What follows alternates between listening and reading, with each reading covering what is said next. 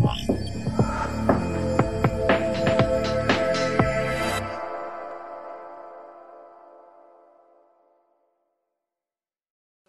my name is Ivan Clausen. I'm a master's student at the University of Oslo, uh, and what I'm presenting is part of my master's thesis. Uh, so as the title suggests, I'm talking about a quantum Monte Carlo analysis of Bose-Einstein condensation, uh, but as the abstract also said, I'll be discussing a random number generator as well. So I'll divide it about 50-50 for of those two. So first, uh, the RANLUX random number generator, number generator, generator sorry. Um, uh, the reason I want to present that is because that could potentially be of use to other people, whilst the Monte Carlo algorithm is just more of an informational thing. So, why do you need good random numbers?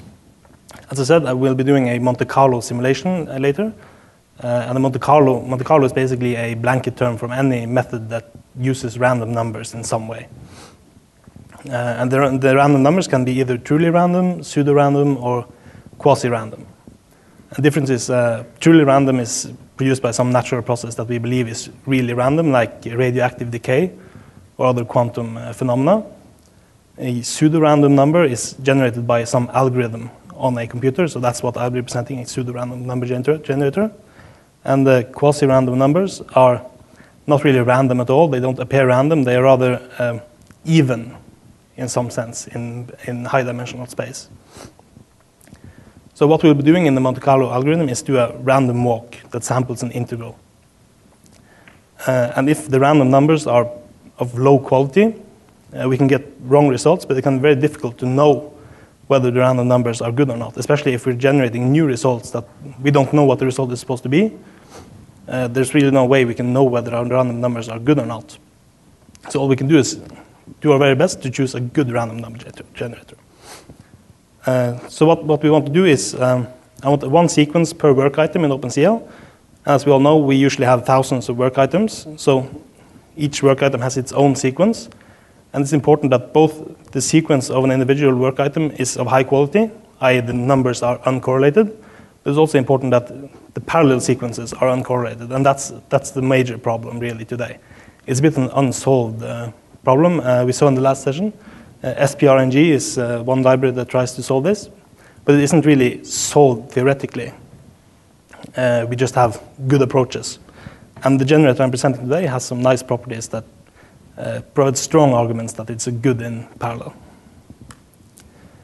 Uh, so, one example of a bad random number generator is Randu. Uh, some people here might have heard of it. It's a bit before my time. It was very widespread on IBM mainframes and other computers in the 60s, 70s, and probably later as well. And a lot of scientific results that were generated in those times uh, are really suspect today because they used Randu and we don't really know how the low quality of that generator affected the results. Uh, so there's an anecdote from the book Numerical Recipes. Uh, somebody noticed uh, that the random numbers they were generating just fell in two-dimensional planes in 3D space. And they went to the system administrator or tech support or something and told them this. And they were told that we guarantee that each number is random individually, but we don't guarantee that more than one of them is random. so uh, that reminded me of this uh, XKCD comic here. We could just design a random number generator. We just roll the die, we get four. Four is a random number, so we just return four. And next time you call it, it's just as random this time. it's not random in relation to any other number, but it's still just as random. Uh, so on the, on the concept of a die, we all know what a die is. It's usually used for playing Dungeons and Dragons and Axis and Allies. I'm sure there are other uses as well. Uh, and the reason a die is random isn't really that it's a truly random number generator, or at least we don't have to invoke any quantum mechanics to explain it. Uh, the reason it's random is because it's a chaotic system, which means uh, in this case that uh, a small change in the initial condition is small change in the way the table is, which will cause the result to be uh, independent of the previous row. No matter how, how well we try to mimic the same row, the system is so chaotic that just the tiny variations causes the end result to be independent. Statistically independent is the keyword. And we'll come back to that. So, when implementing a random generator, there are several candidates. RAND1 was the first one I implemented. I'm not very proud of that. Uh, it is from the aforementioned book, Numerical Recipes. Uh, the good things about it is it's reasonably simple. It's not very many lines of code. It's also reasonably fast. It's not the fastest, but it's not bad. Uh, however, it has some shortfalls. It's, the period is 10 to the power 9, uh, and on modern GPU we can exhaust the period in less than a second. Uh, the, the period of a random generator is simply how many numbers we generate before the sequence repeats itself, and it repeats itself over and over. So as I said, I implemented this first, and uh, I kind of got burned by that, so that's why I started taking random numbers seriously. Uh, I was doing a brute force Monte Carlo simulation, uh, which basically means I was just generating random coordinates and evaluating a function.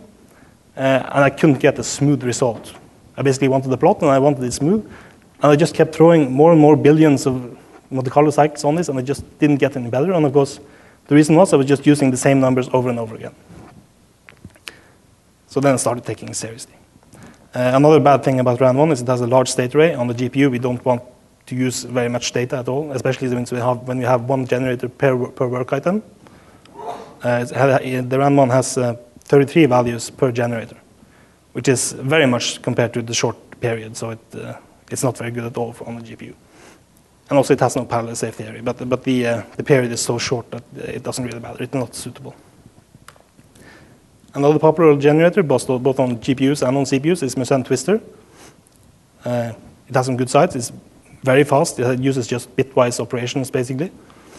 Uh, it has a very long period. That depends on the state size that can be changed, uh, but the default version has 600 something 32-bit integers in its state, and the period is astronomical. You're never going to um, exhaust it. It's also been extensively used and tested by others, which is a very good thing for a random generator.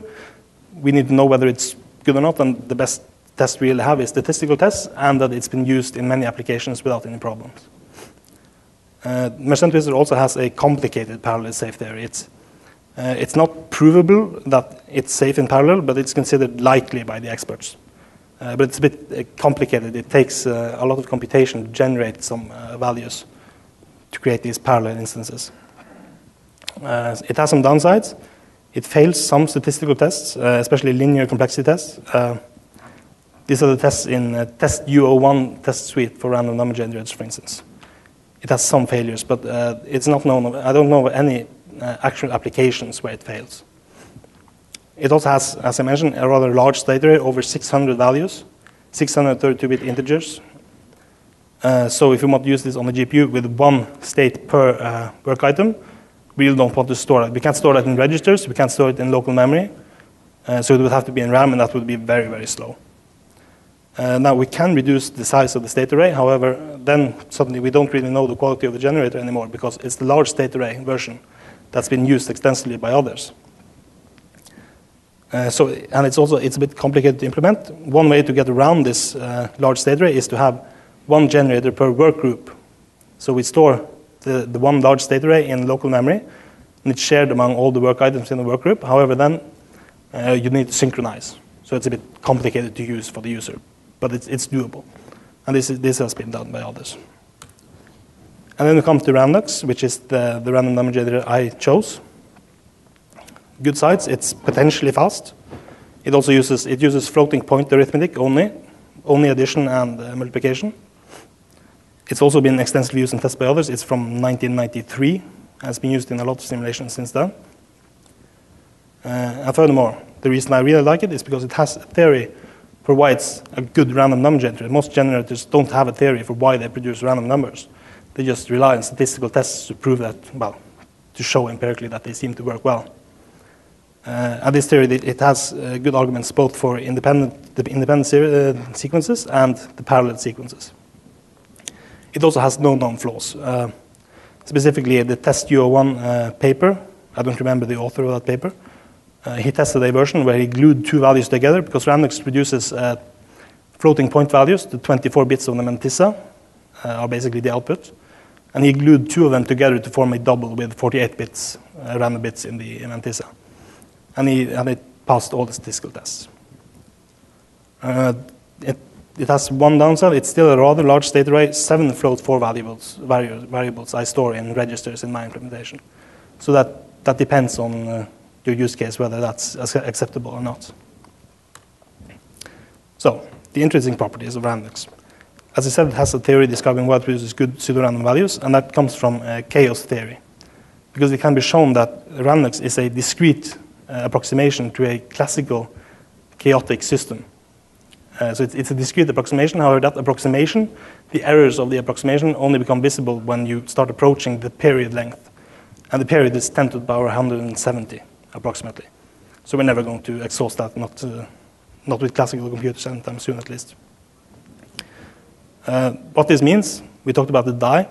The chaotic system means that it loses memory, we could say, of its state over time. Of course, this is an algorithm, it's deterministic, but uh, when we generate values, it means that uh, the, the, um, the correlations decrease the further away two values are from each other.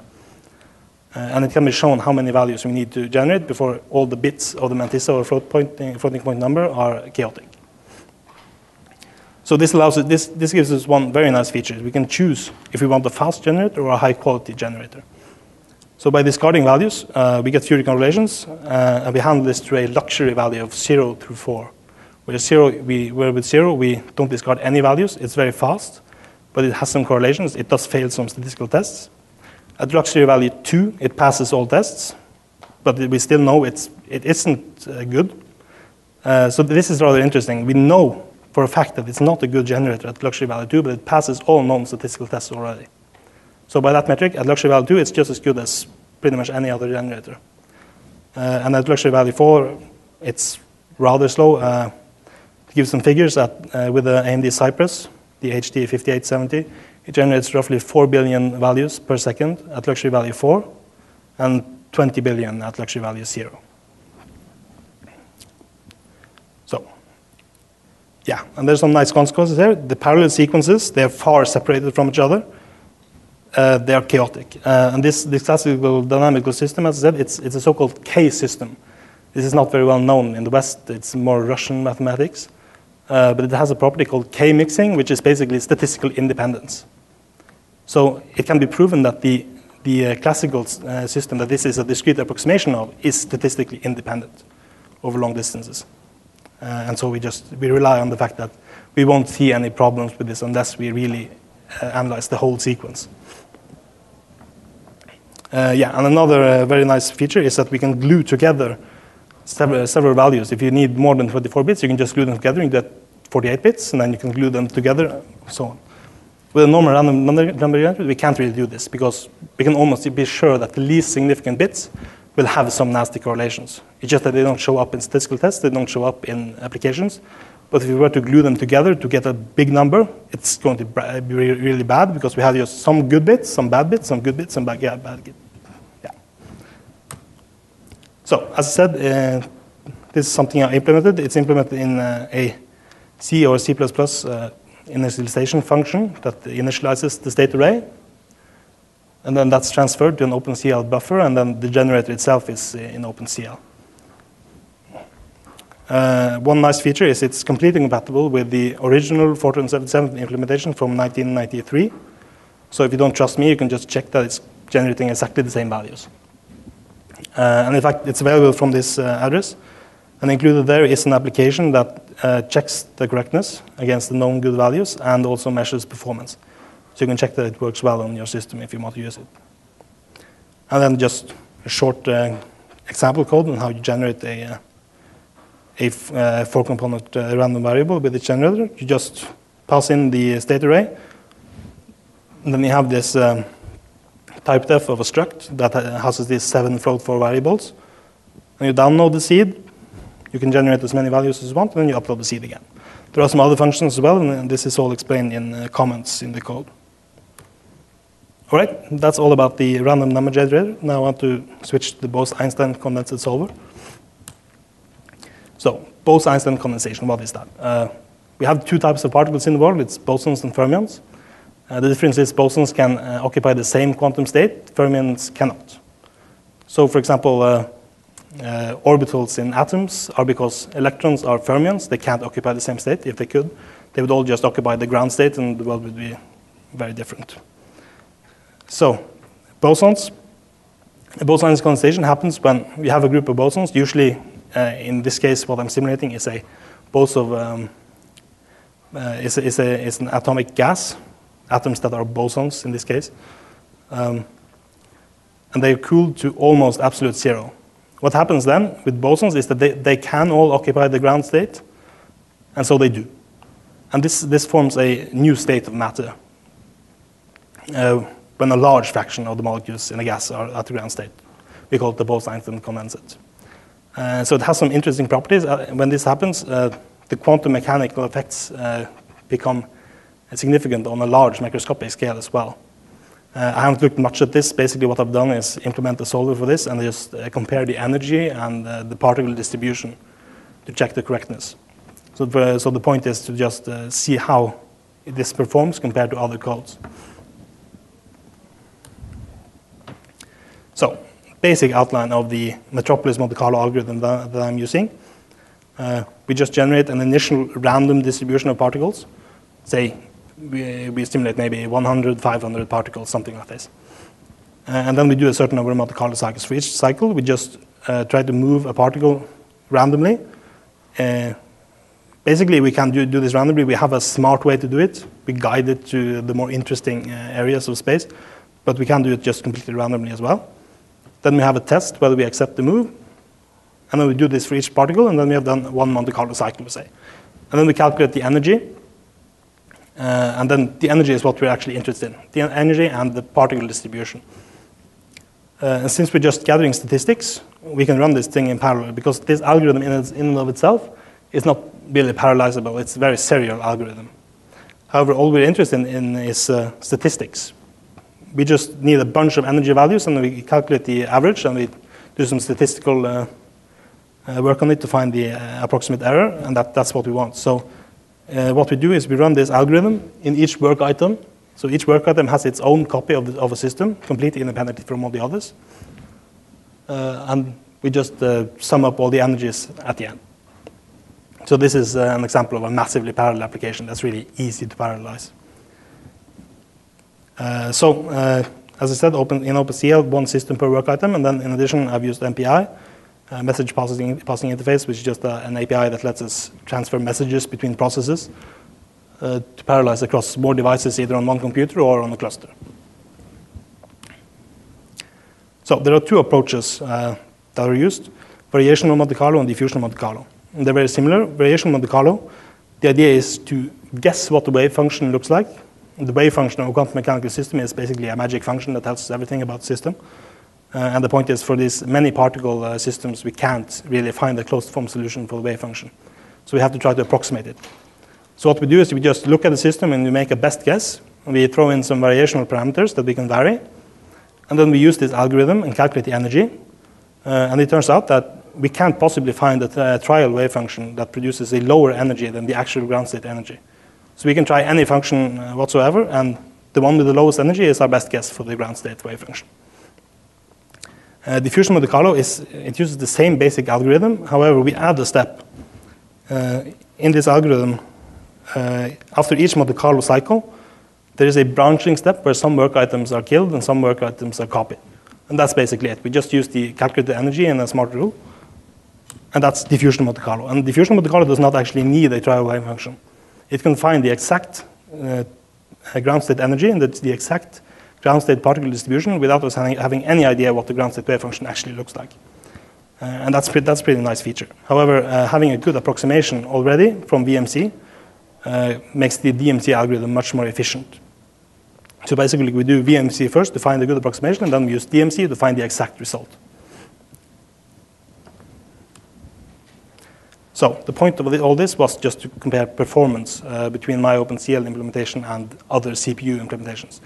So um, as always, fair comparisons are very difficult, and I can't claim to make like an authoritative statement on uh, performance for Monte Carlo simulations. Uh, so all, what I've done is I've compared it to similar C++ implementations, where similar means it's the same algorithm. Uh, it's developed by other master students, people with similar uh, skills of my own. It's developed in standard C++ versus standard OpenCL. Uh, so initially, I did this in a course and I just I was interested in GPU and OpenCL. So all I did was I downloaded a Hello World application from AMD, started modifying it, and then I just copied what I'd done, already done in C++ into a kernel, and just changed line by line so that it was OpenCL compliant using float threes, now float fours at that point, uh, and so on.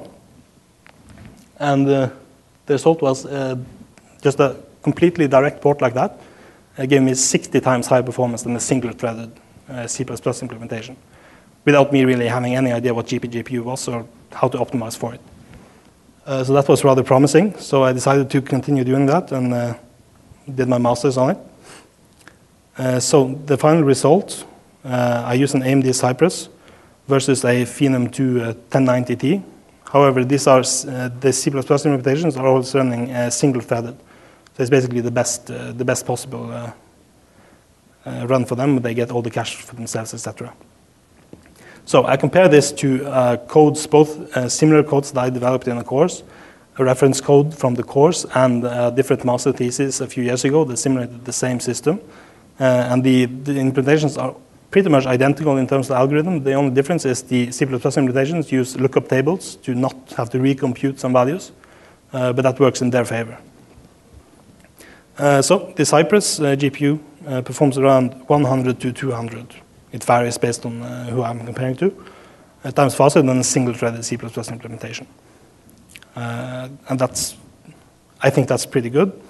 this is double precision. we physicists, we're a bit, a bit scared of single precision. Even if you don't analyze it, we use double precision always. Uh, however, uh, double precision actually only performs at about 65% of single precision uh, I say only, it's, that's really good, I think, is more than half. Uh, I would have expected less than half because we're doubling the amount of memory, we're doubling the amount of memory bandwidth we need. And uh, on the AMD Cypress, as we know, the double precision performance is either two fifths or one fifth, depending on which operation we're looking at, of the single precision performance. So the reason, uh, there are some explanations for that. Uh, it's slightly more efficient use of memory, looking at the profiling results. Uh, higher ALU busy values and packing values, of course, because in double precision, the VLIW architecture basically becomes scalar. And also the kernels are small enough that there's no register spilling, uh, which is always a good thing. Uh, in terms of absolute performance as well, we can count flops, which I've done. Uh, basically, the only pla the place where the bottleneck is here is in the energy calculation, where there's an n cubed calculation. Uh, so what I've done is just counted the operations in the inner loop of that n cubed part what I counted is a little bit over 80 uh, basic operations, additions, uh, and multiplications. Uh, and then there's two square roots and three divisions. Now, I don't know how many operations I should actually count them as. if, you, if you use the kernel analyzer and you just do a square root, double square root, it's really ugly, and I have no idea how many operations I should really count it as. So if I count them as one operation, with the understanding that that's a gross underestimate, I get to 90 gigaflops of double precision uh, floating point. That's an underestimate, both because of the transcendentals I mentioned that I only counted as one operation, and because uh, there's more overhead also. This was just the inner loop, but the kernel is bigger. There's also n cubed and now n squared and n uh, computations going on as well. Uh, so I think it indicates that I've used the hardware reasonably well, and this comes with no, uh, no, no GPGPU optimization beyond storing stuff in memory so that when work item uh, n and n plus 1 access the same particle, those are adjacent to memory. That's really the only GPGPU uh, optimization I had to do. Uh, so to conclude, I can't, I can't make the claim that GPUs are always 100 times faster. Uh, we never really can. There's always the question of how optimized was the CPU implementation, how optimized was the GPU implementation. Uh, however, I know that if I'm going to write the code using standard uh, C and C++, then I'm uh, OpenCL or C++, then I'm going to be able to make uh, my code run much faster with OpenCL, just using my understanding of the basic language. So if the C, C++ implementation could be optimized much further, then I would say that CPU optimization is much harder than GPU optimization, which is usually, is usually the other way around, as I understand it. Uh, so as I said, I can't make any general statements, but it certainly demonstrates that there's, there's low-hanging fruit to be had. These kinds of massively parallel Monte Carlo uh, uh, computations are not always done on GPUs, but they really should, as far as I can see, because they really work very well, and there's, there's very little you really need to learn. You just write OpenCL C kernels, and then if you pay attention to memory layout, you're pretty much there already. Yeah, that's, uh, that's all I have. Thank you for listening.